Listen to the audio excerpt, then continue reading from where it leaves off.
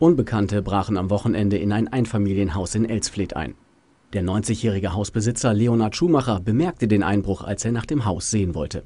Ja, ich habe es erst gesehen, als ich drin war. Ne? Ich bin ja vorne reingegangen und dann sah ich gleich, um Fußboden lag alles voll. Die müssen irgendwie ein Fenster kaputt gemacht haben oder irgendwas in der Scheibe und da sind sie von hinten ins Haus gekommen. Alles verwüstet, was da kaputt zu hauen war, haben sie kaputt gehauen und das Ganze nochmal wieder kaputt gemacht. Katastrophal.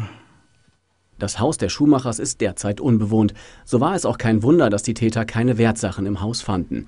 Besonders Enne Schumacher musste den Schock dennoch erst einmal verdauen. Ja, ganz schlimm, ärgerlich.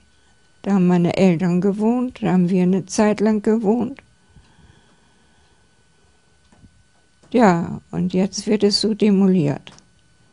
Die Polizei in Elsfleth ist nun auf Spurensuche. Um die laufenden Ermittlungen nicht zu gefährden, möchte die Polizei zu dem Fall noch keine Aussage machen. Unter dieser Telefonnummer können Hinweise bezüglich des Vorfalls gegeben werden.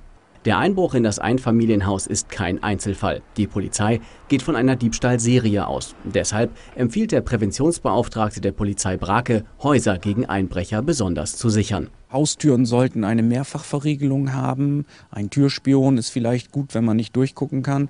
Und Fenster sollten eine Pilzkopfzapfenverriegelung haben. Wer noch mehr Tipps benötigt, der kann zur Polizeidienststelle gehen und sich diese Broschüre rausholen. Dort sind wichtige Tipps drin. Und wer ganz konkret wissen möchte, aber an seinem Haus noch was tun kann, der kann sich bei der Polizei Brake melden in unserem Fall. Jede Polizeidienststelle hat einen Präventionsbeauftragten, der kommt zu Ihnen und äh, guckt dann, wo das Haus sicherer gemacht werden kann.